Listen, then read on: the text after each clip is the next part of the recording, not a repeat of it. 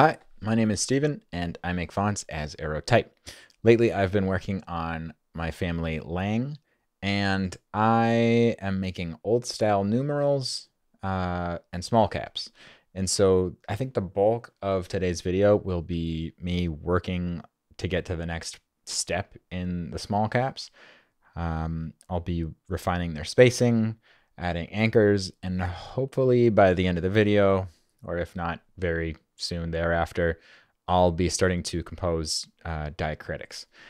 Um, maybe I'll fit that into a next video because I imagine it might be a little bit of work figuring out exactly which diacritics I need to build and it'll depend on how automatic glyphs makes that process. I haven't done small cap diacritics and glyphs for a long time, so um, yeah, uh, it, it will be some figuring out. But there's certainly some stuff to do before I get to that point, and I guess I just also wanted to share where I'm at. So uh, yeah, I didn't share all of this on YouTube, but I've worked on some old style numerals. So let's see. Um, there were the tabular old style. Here are the normal old style. Here are the normal figures. So this is probably better to put with like, um, you know, some letters for uh, reference so you can kind of actually see what's happening. So regular, the kind of the default numerals in this family are lining figures. They match the cap of the cap, the top of the cap height. Um, and uh, there are tabular figures um, also where all of the columns of figures will line up.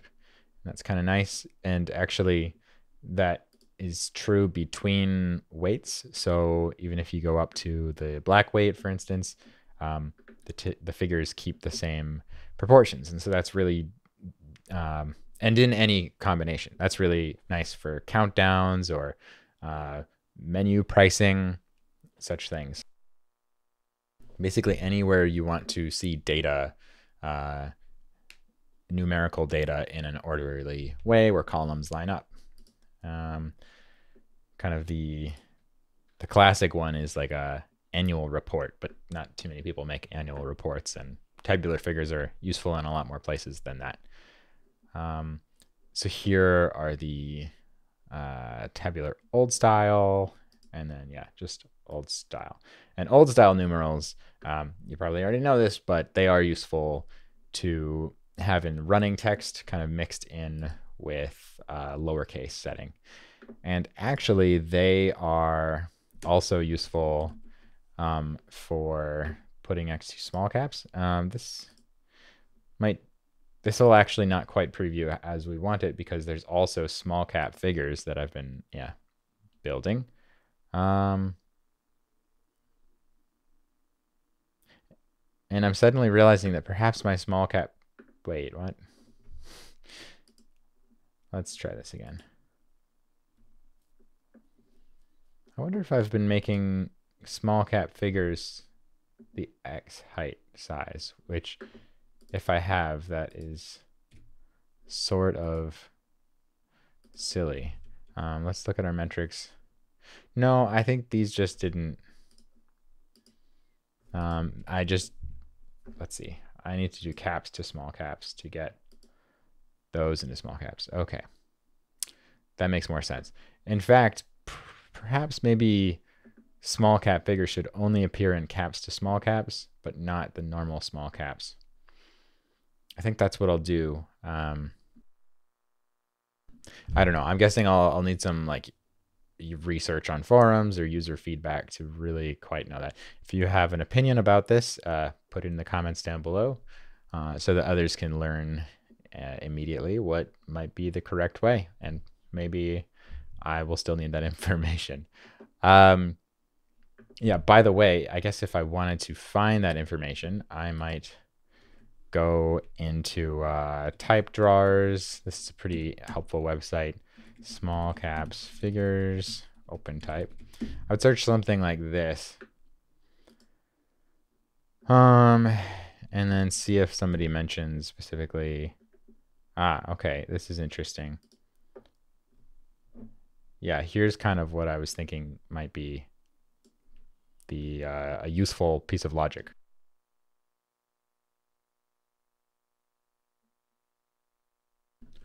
So yeah, pretty funny to see how many figures people include in a typeface, but there's, you know, sometimes justification for all of them. Um, right. But uh, yeah, this is kind of what um, what I was thinking might be the one. Uh, that is omit them from small cap and do include them in caps to small caps. So let's do that right now, actually. Well, it's, I think I still need to rearrange these, but um, we will consider that later.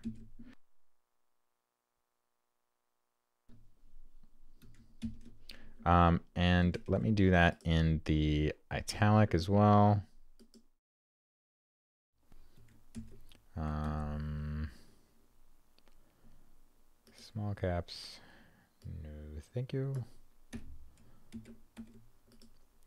Okay, so let's go back here and try this again. So we've turned off our caps to small caps. Wait, our small caps, but we still have caps. Okay, so let's, I'm just uh, making sure that this basically seems to work. Now I am still...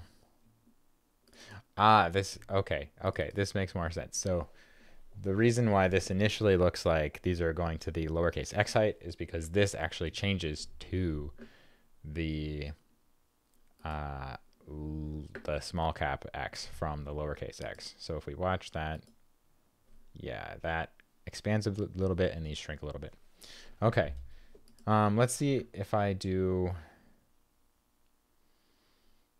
Uh, let's try this like old style figures next to the normal small caps feature.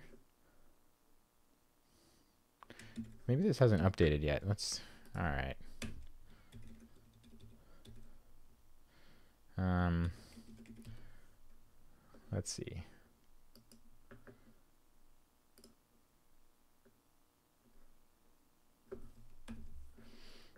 The glyphs app preview of features I know is not quite like authoritative exactly. It's just there more for a preview while you're designing. So it does seem like it's not working quite as I expect, but I'm actually not going to worry too much about that. Um, I could be missing something, uh, but I'll think about that actually once I actually build some fonts and see what shows up in the real fonts. Um, but that is kind of a good basic look at what I've been working on as far as figures. I still want to make some scientific superiors and inferiors. And um, according to a friend uh, who I was asking about this, it's maybe best to have small cap figures be tabular by default. Um, at least for them, they said that the place they use the most is in like a table of contents in a book, where that's one of those places where you want tabular figures. I don't know. Um, I might just make small caps tabular as well. Uh, one thing I've done in this family, here's like an interesting secret of type design to be efficient is that by default, actually, all of these normal, let's um, show the info thing, uh, Command Shift I. By default, the normal drawing of each uh, figure for almost all of them is tabular already. So these are all 615. Um, and yeah, they look pretty good together.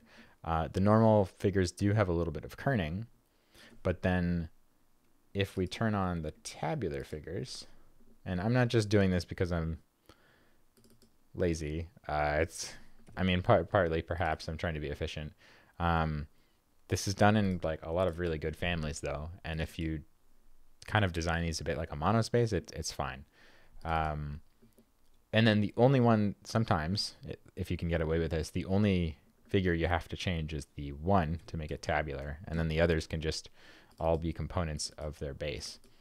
And then beyond that, it's actually really neat because you can uh, extend that logic a bit so that, for instance, the old style figures are also just components. Oh, that won't work because uh, this is on. But these are components of like the basic three, for instance, four, five, six, obviously, seven, eight, nine. And then the only ones you have to redraw are actually one, two, uh, zero, one, and two, which is pretty nice. Um, one thing I'm currently trying here is a zero, small cap or old style zero that's more like almost like a ring or a perfect circle. Uh, some typefaces do that, and it's kind of a cool look. Uh, I'm trying to give it like a light amount of Lang style contrast.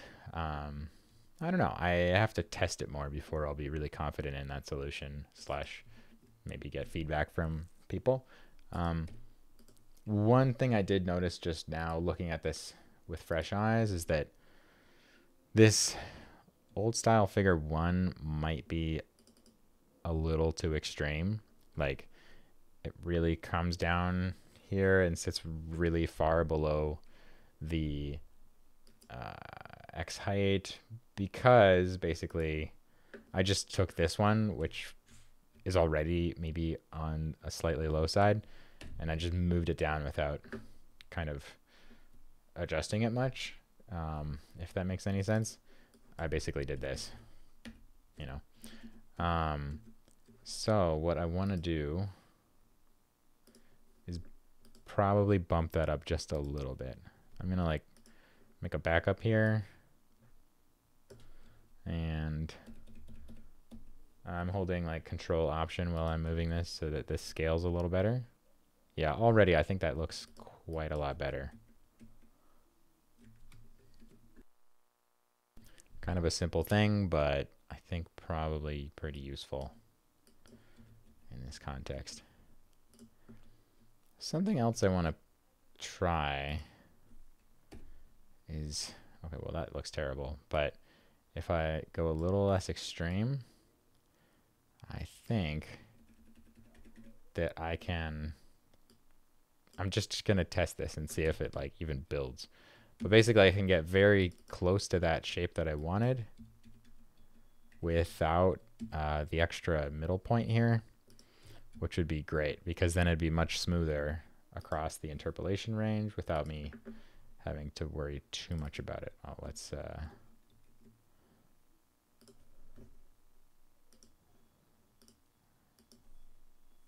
wait. Oh, I thought it changed. I don't know. Oh well. Um, let's duplicate this. Sometimes it, a lot of the time it's better to make a glyph duplicate, by the way, rather than a layer, because then you can test them one against another. But sometimes I'm just giving myself an easy backup. And I think that's okay. I don't know.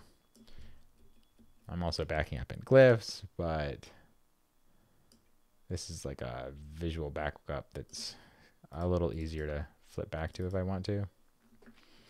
But yeah, um, this is pretty nice because you can see that it's a very smooth uh, ramp up and without a middle point there, it's perfect without me having to worry about it too much. Whereas, for instance, when it has a middle point here, it still works because I've kept the middle point at a 45 degree angle. So there, I don't think there will be any kinks in here per se, but it does get a little bit lumpier than I want it to be. So I don't know. I'm basically going to build it. And if the font builds, I might probably simplify the structure of the general one. All right, so let's go back for a second just to finish my thought there. I, I yeah, I already did bump it up, so yeah, already I think that's probably quite a bit better. Maybe I'll just try it even further. I don't know.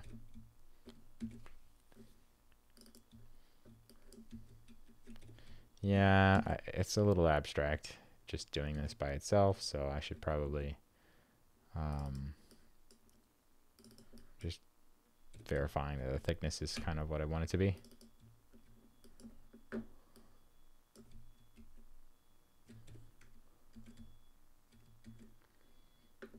I will probably come back to that once I do a bit of proofing and design work with this.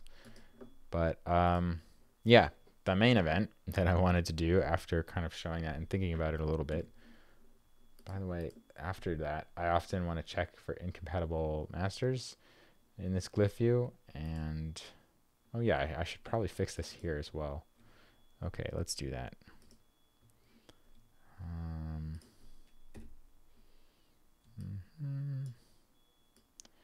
I guess I will want to uh, one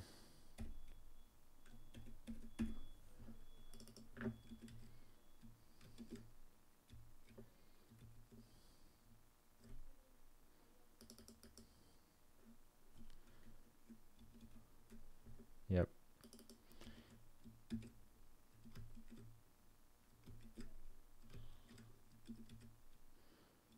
I'm doing command uh, tilde to go between these glyphs windows, by the way.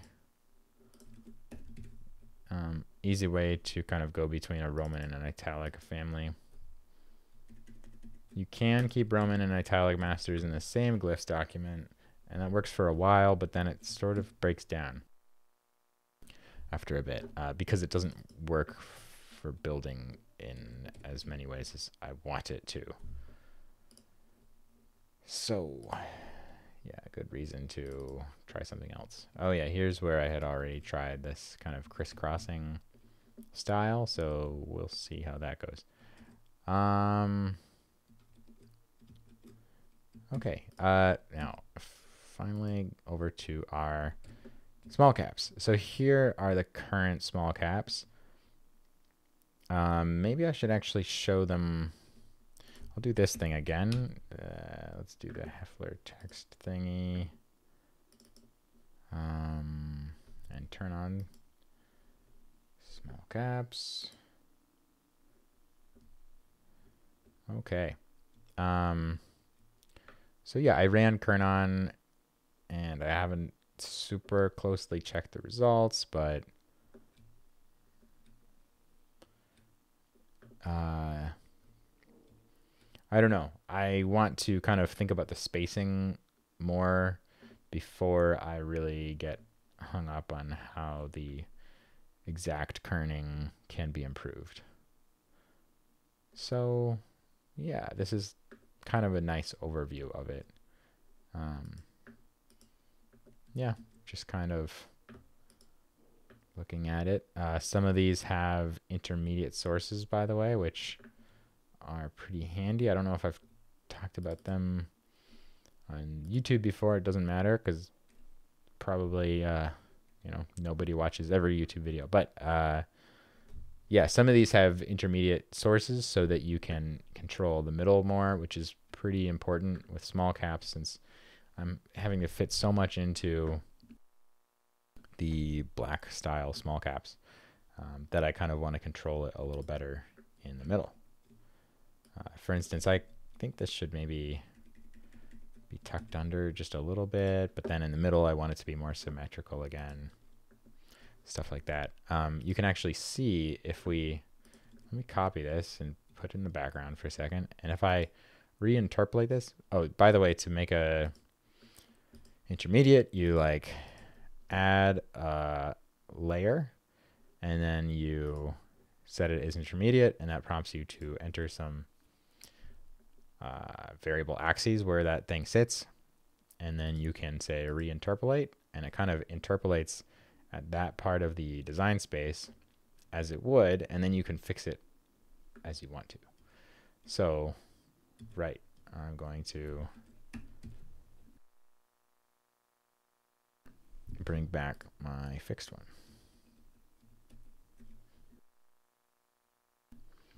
And one thing I learned actually in this process is that it's pretty, it's vital to keep your um, intermediate layers under the same kind of parent uh, layer. Otherwise, the way FontMake or glyphs to UFO glyphslib works, it kind of creates duplicate sources in the design space, and then that doesn't allow you to build. So that's no fun. All right. Um, so I haven't properly fully thought about this to be honest yet, but we want to take off kerning first. Um, I did set up a spacing string with small caps and upper caps, uppercase, um, normal caps. I put that under my ArrowType's glyph lib, not glyphs lib, glyphs scripts, so that basically if .sc is in the glyph name, um, it'll create a small cap pattern. So that is to say, let's go to all Let's select a few. And then my script is here, spacing. And this is available on GitHub. My scripts aren't that fancy, but some of them are, they're useful for me. Um, so I wanted to start sharing things like this. And yeah, so that's pretty nice. Whereas if you are, um, you know, spacing, well, that's, let's do something more obvious. So if you're spacing these, I haven't actually tested this yet, but I think it should work. Um, make spacing string. Yeah, it puts them against the lowercase control characters, lowercase n and o, uh, rather than the small caps. So let's turn off the kerning again. And let's set this to show the current thing. Might as well be black on white. And so I think in this uh, weight, I kept the maybe.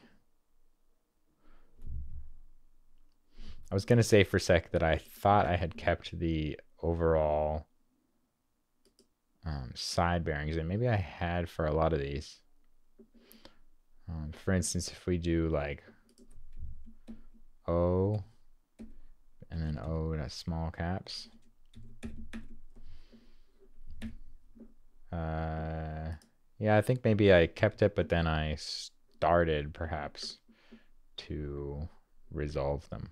So, okay, that's interesting. I don't know how important that information is, to be honest. I think the main thing is that I want to make sure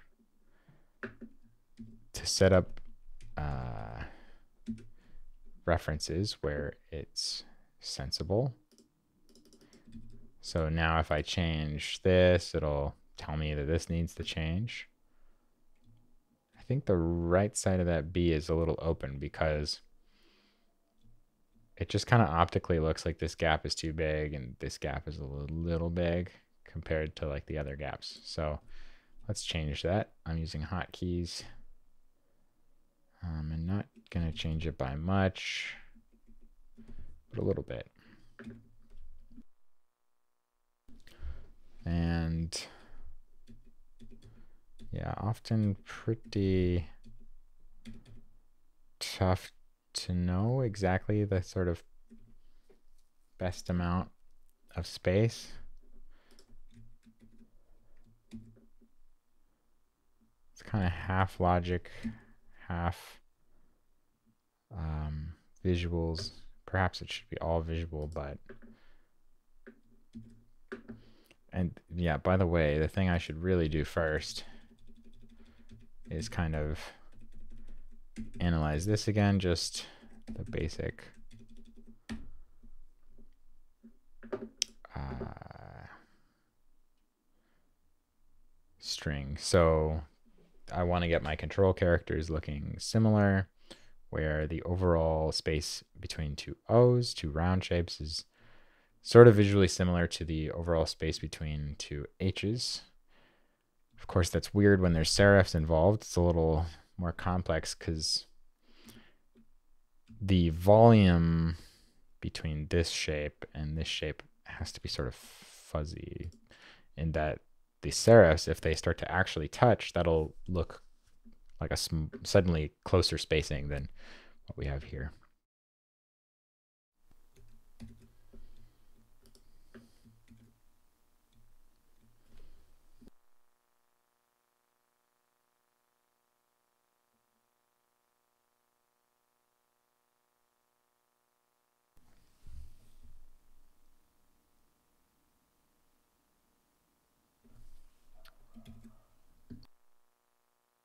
It's easier if I get rid of the metrics. So that's under like view, show metrics, or shift command M.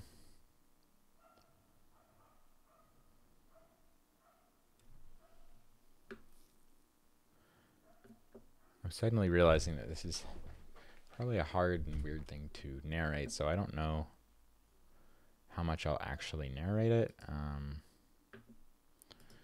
I guess I'll try to do the real basics. Often I wouldn't link D to the side of O, but here I think it's pretty much the same shape and it's close enough, probably. I might change my mind later. Yeah, honestly, a big thing I will do is just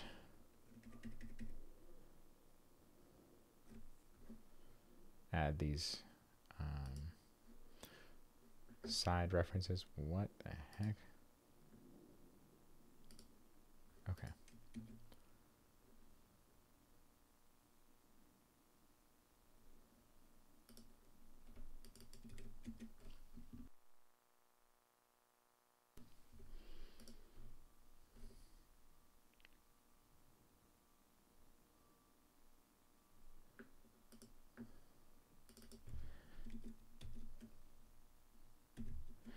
Equals and then a bar sets it equal to the opposite side. Didn't know that for a long time, but it's pretty nice. Hard to say if this should get a little, I mean, often the eye does get a little bit of extra space.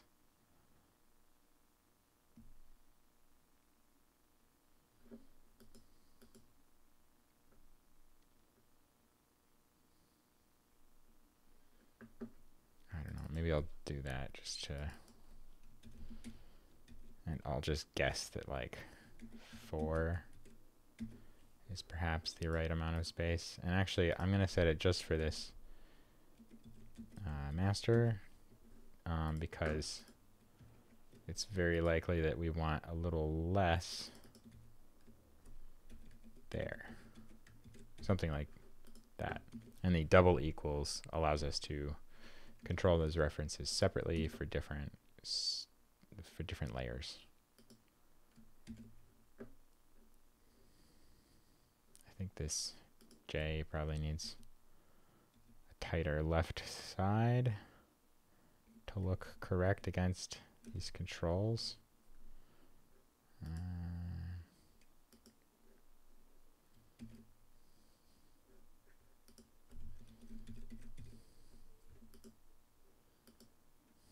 Also looking down here.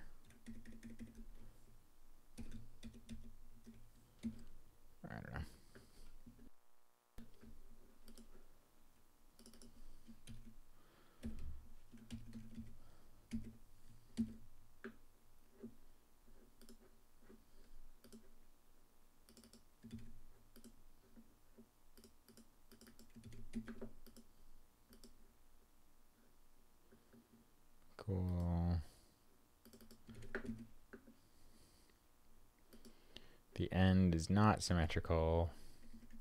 So usually you need a little less space on the right side because there's not a serif to fill any space there. Sort of hard to to know how much less. I almost wonder if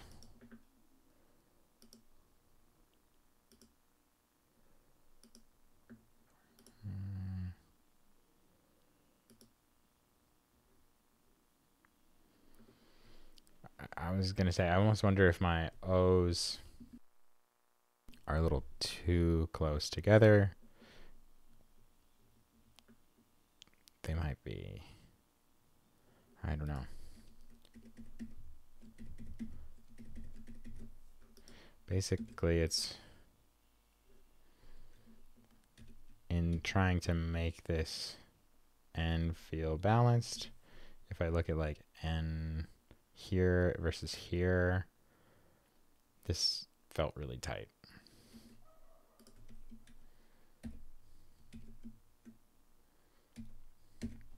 I should maybe have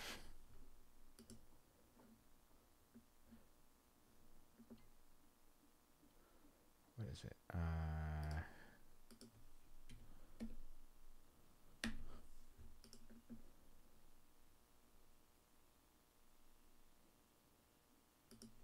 and perhaps the H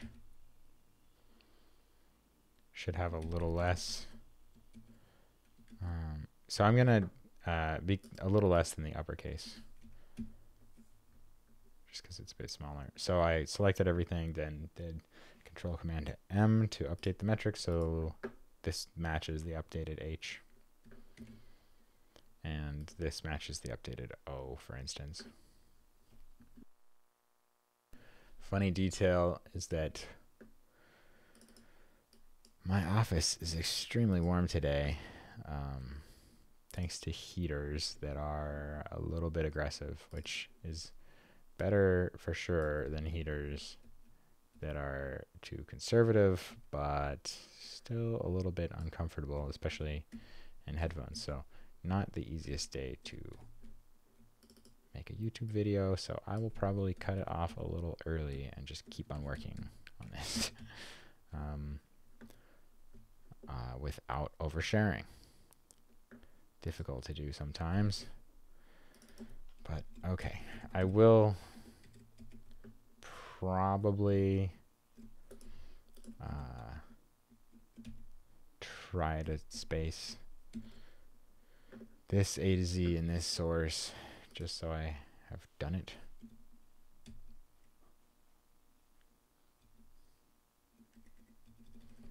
The Q, I always want to set it to the same side bearing as the O, but um, but then I also some often want the tail to exceed the right side.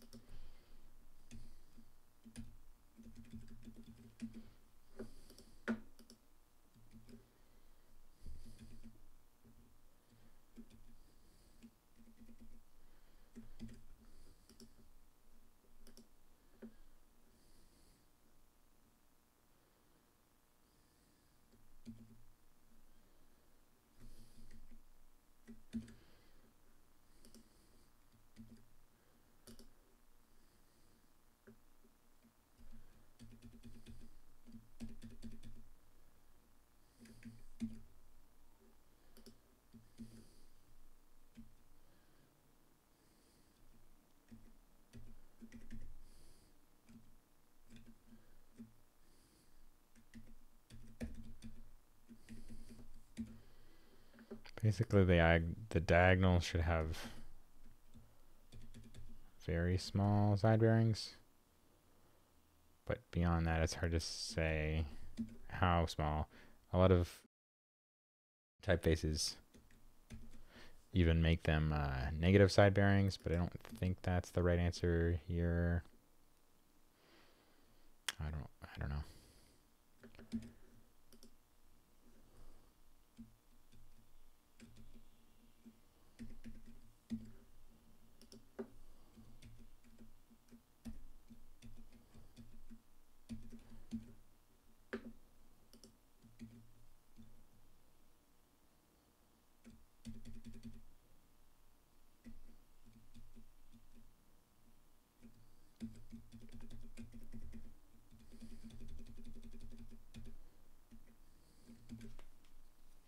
Okay, well, that's a first pass of that.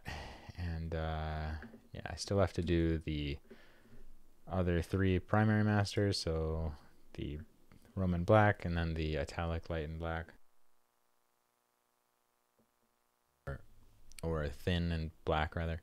Um, but this is a start and uh, that kind of shows the process that I that I go through in spacing uh, and then kerning comes after that. And uh, I don't know. I I end up doing this many times in a typeface, many passes, and I kind of see things in use that like don't feel the best, and so I'll go back and do another pass. Um, or you know, a big thing is that I'll do this for punctuation, for instance, and stuff like that. That's also just as important. Um, and harder, I would say. Quotes are one of the harder things to get the spacing and kerning right on, but super important because they show up quite a bit. Uh, yeah. Hopefully that's interesting to see a little glimpse into the figures work and small caps work. And yeah, next time I will try to, I think maybe later today or tomorrow or something, I'll try to record uh, the diacritics process because that's pretty fun, basically. Uh, pretty interesting, I think. So if you watched, Thanks for watching. If you're working on something creative or something that has your attention, I hope it's going great. Um, yeah, take care.